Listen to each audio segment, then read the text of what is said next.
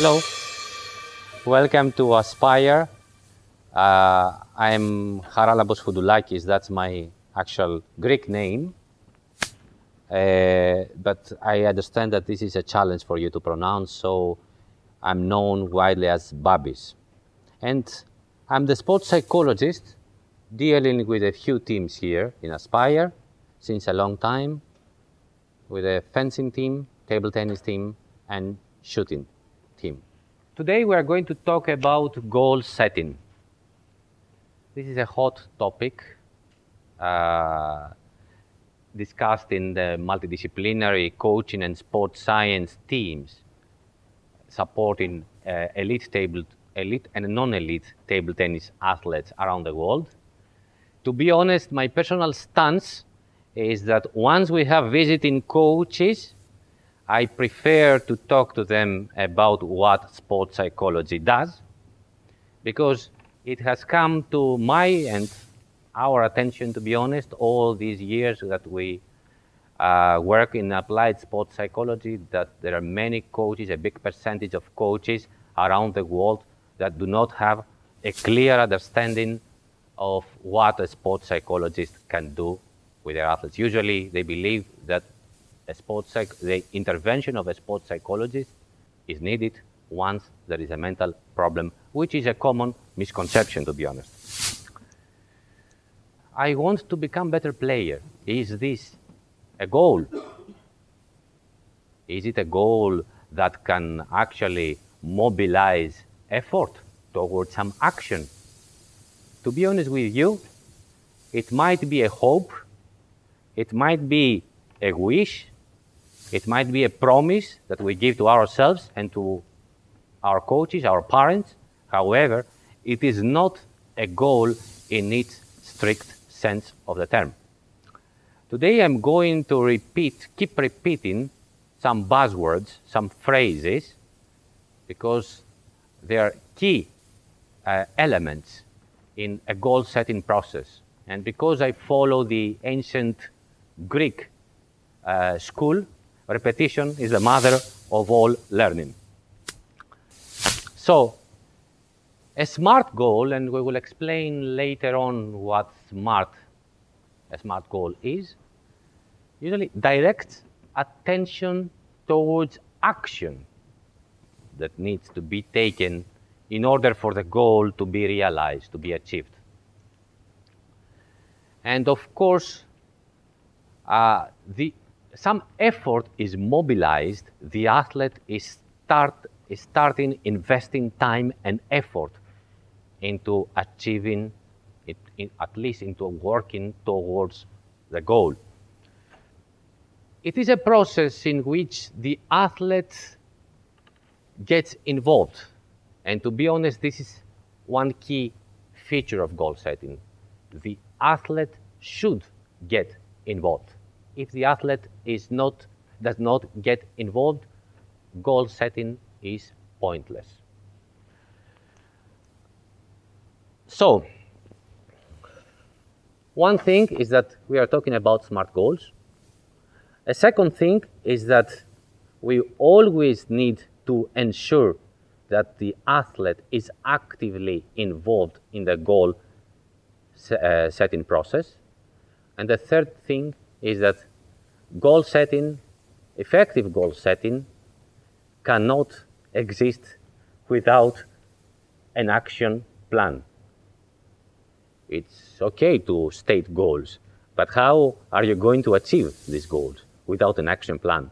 Then we don't talk about goals, we are talking about wishes, promises, but not smart goal setting.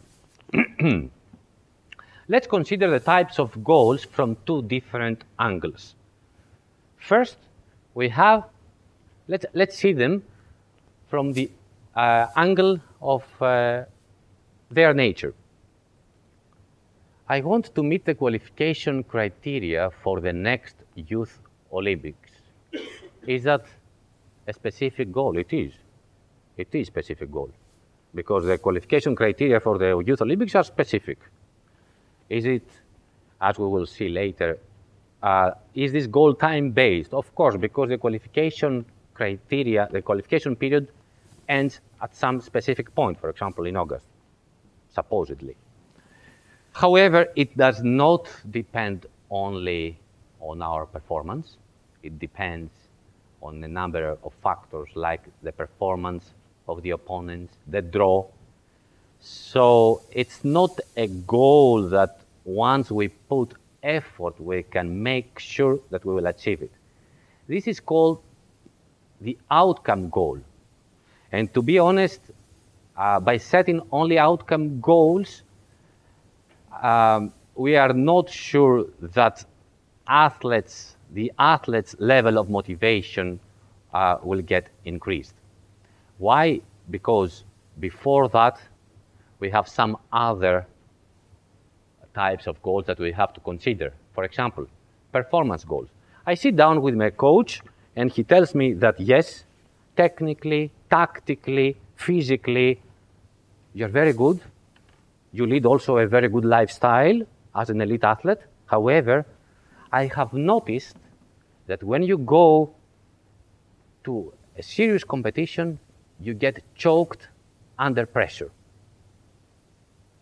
So I would advise you strongly that you meet the sports psychologist for some training session. So the boy or the girl, sorry, I'm talking, I'm referring to boys because here we have only boys. The boy or the girl goes to the sports psychologist who and tells him that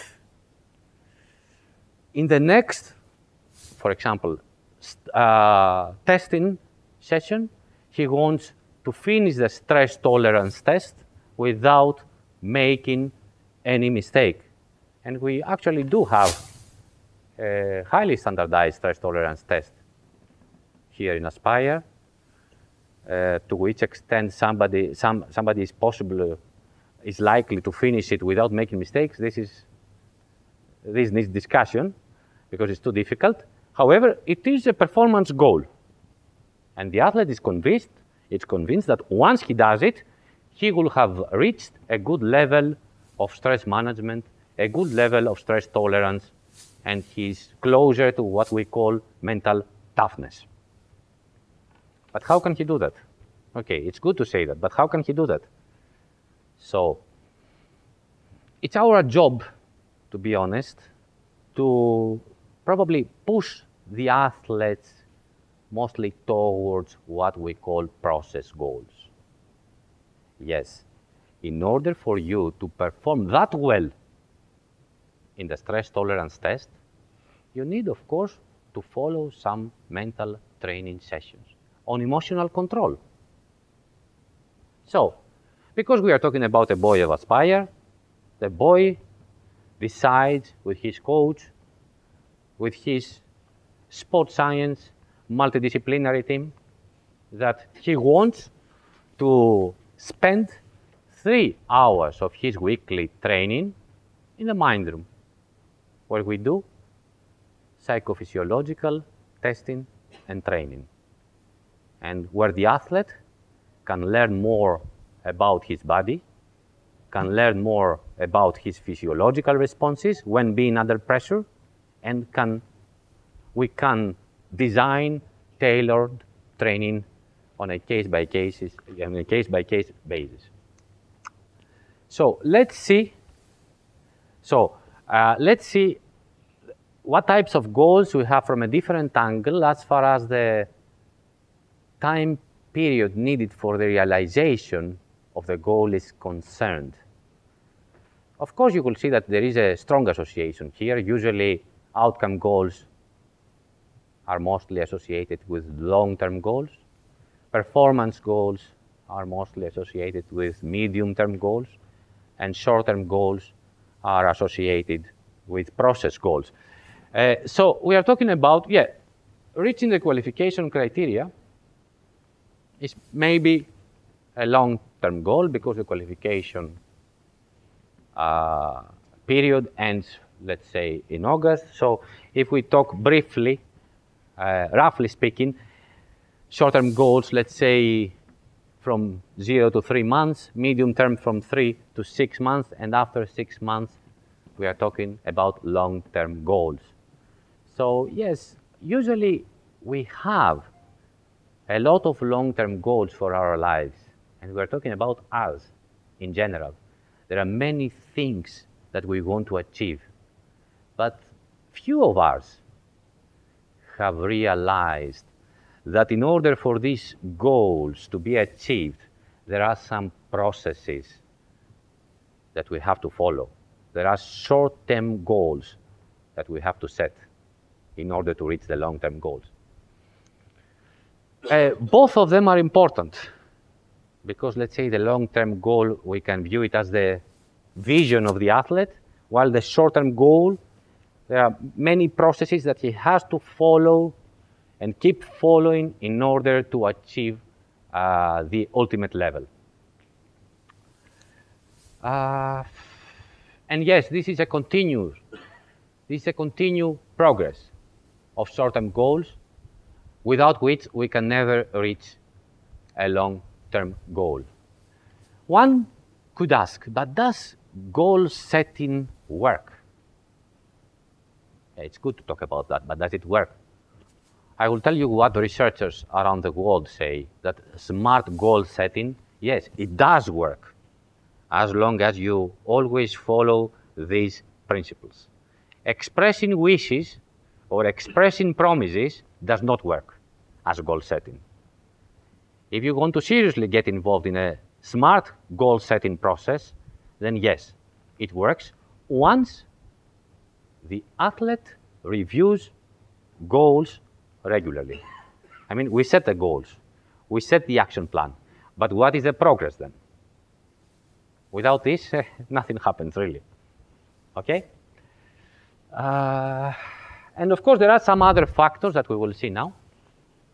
Yeah, this is another thing that I will keep repeating till the end of the presentation, that short-term goals, because you, I want you to remember it always, short-term goals should be slightly above what we can already do. That we have to set both short and term, uh, long-term goals, as we said. And yes, the participant always should be involved in this process. Sometimes it helps if the athlete shares his or her goals with families, with friends, with teammates, so that everybody will keep reinforcing them towards putting more effort into achieving the goal.